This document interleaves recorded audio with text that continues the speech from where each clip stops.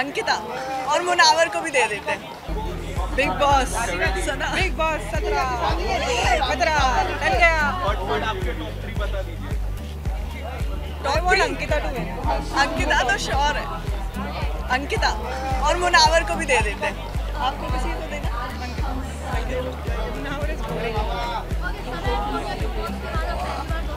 हाँ मैंने अभी पहली बार देखा है इसको।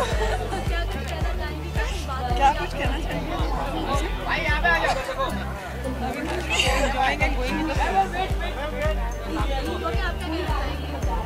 मैं बोलना चाहूँगी, अभी सना स्टार्ट कर रही थी अच्छा और इसको और अच्छा करना चाहिए क्योंकि अभी आ गए थे फॉर्म में। थोड़ा टाइम लगता है मतलब स्लोली स्लोली हो जाता है तो मुझे लगता है कि सना आ रही थी गेम में बट ठीक है, आप ये नहीं आते तो डेफिनेटली मुझसे नहीं मिल पाते ना। मतलब आपको लगता है कि अभी भी आ, उस शो में जाने के बाद कुछ कर पाएँगे? क्योंकि ऑलरेडी वो लोग तो ऑलरेडी इतने अच्छे हो चुके हैं प्लेयर उन्हीं को थोड़ा अच्छा मज़ा दिया जाए तो मुझे लगता है कि वही बेटर है। किस चीज़ के लिए? नहीं बिल्कुल नहीं। तो नहीं मैं जा सकती हूँ तो वो अलग होगा। बट अभी तो ऐसा कुछ सोचा नहीं है। जब आएगा तो उसका अलग रहेगा। थैंक यू या या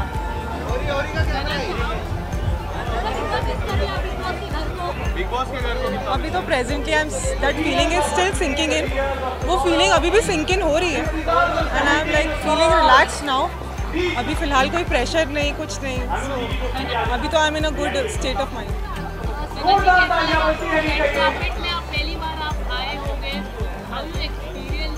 पहले भी आई हूँ ऐसा नहीं। But it's a good experience Sana ji जब आप लास्ट मोमेंट में घर पे थे रिंकू एंड की बहुत बड़ी फाइट हुई थी आप आप कुछ बताना चाहोगे? आप किसको सपोर्ट कर रहे थे में उसमें नहीं। और काफ़ी अपशब्द भी कहा गया था जो हमें बीप करके दिखाया है हाँ हाँ करेक्ट तो वो उसमें एक्चुअली ऑनेस्टली मैं किसी मैं मैं जानती हूँ खानजादी कभी कभी अननेसेसरीली भी करती है चीज़ें। तो खानजादी के जो अ, हरकत होती है वो फुटेज के लिए भी होती है। तो ऐसा सपोर्ट में ऐसे स्ट्रांगली ऐसा नहीं है कि मैं वहाँ पे मैं किसी के अगेंस्ट मैं ऐसा नहीं है कि मैं वहाँ पे ऐसे पर्टिकुलरली किसी के अगेंस्ट थी बट उस टास्क में खानजादी ने स्पेशली बहुत अनफेयर थी वो because she was not letting the females get in तो वहाँ पे वो हमारे साथ गलत हुआ।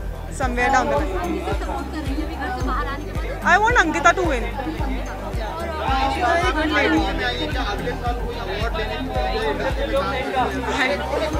For now, I'm going to focus on my profession and let's see how it goes forward.